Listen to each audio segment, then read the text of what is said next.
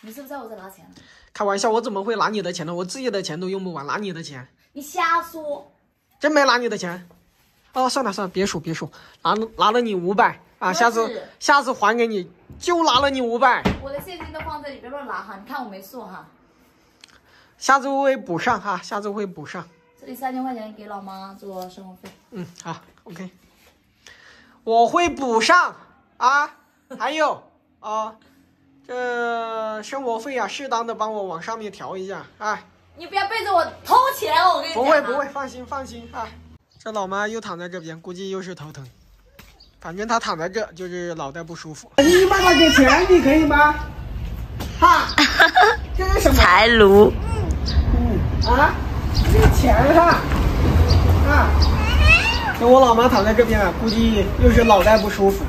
自从开了这个开颅手术之后呢，我感觉这个情况越来越差，还没以前好。你奶奶的？你我老妈现在这个脚啊，走起路来打软，有些时候就是抱小孩的时候，他两脚发软没有力，有些时候感觉会倒下去。他自己说的。不是说抱小孩，的走路的时候就走路。都会，还有就是手麻，手麻。以前做手术之前啊，手不会麻的，现在手会麻。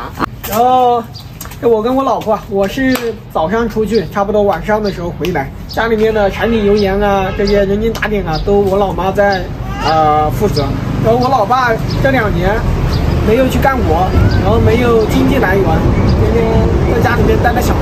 其实我老爸很想出去外面打工。今年过年的时候，也就是去年年底、今年年初的时候，我老爸本来是打算去跟他的伙计去外面干活，然后都说要出去了。然后我这边跟我老爸做了一下思想工作，我说你出去了之后，这两个小孩谁带？我带，我带的话，那我什么都干不了了。我老婆带，那我老爸不用上班了。老妈带不现实，老妈身体不好，所以我老爸这几年是不能在家里面带小孩。他说等我女儿长大了，然后把她送到幼儿园的时候，然后他出去上班挣钱。我老爸去外面打工挣钱的话，就是为了帮我跟我老婆减轻一下负担。我老妈现在天天都要吃药。然后明天带我老妈去一趟啊、比较神秘的地方。我要去啊，说了就不好了，说了就不灵了。反正该看的都看了，然后现在就差北上广深这些一线城市的医院了。等疫情过了的话，呃，再看哈。然后有一些网友建议我，啊、要我带我老妈去上海，这个我会考虑。要去也等疫情过后啊。现在出去啊，回都回不来了。哦。哦。哦。哦。哦，大声一点。嗯，不错，会说英文了。Let's go 啊爸爸教教你这是什么吗？这是那个茶子，可以用来榨油的。走，去菜园。爷爷从菜园里面回家了，我们去晚了，明天去菜园哈。